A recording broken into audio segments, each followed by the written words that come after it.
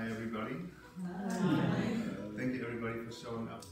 Hi there, my name is Matt and I'm a facilitator of the Wheel of Consent. I'm as well a cuddle party facilitator, play party facilitator and provider of sessions. I'm very passionate about the polyvagal theory and the Wheel of Consent and some of you might have heard about the Wheel of Consent, some of you might not. What we want to explore in the Consent Lab is the dynamics of consent. So consent is defined by two different dynamics. One dynamic is that you're asking a question about may I do such and such, where you ask another person for permission to go in an action for yourself, where the other person has to express their limits. And the other side of consent is making an agreement where you ask, will you do such and such? Where the other person as well has to express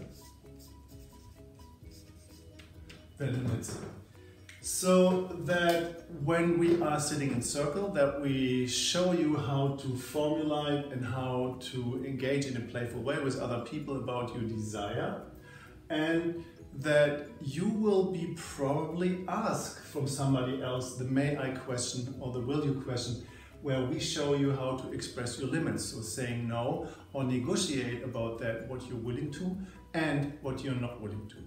So important is that each one of you is uh, who is coming is welcome as you are. Tears and laughter are welcome. And that participation means, in my world, if you just sit there and say no and witness the entire evening, that you're totally welcome to do so.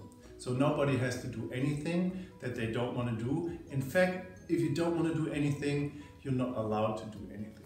It's a very fun evening. We have some um, light-hearted, uh, easy games to engage with other people after the welcome circle and uh, then we have snacks, we're providing some uh, tea and water and then we're going in a guided circle uh, where we practice in a lab the dynamics of the may I and will you question, make a request from an empowered place and as well valuing your limits. Mm, yeah. How will you?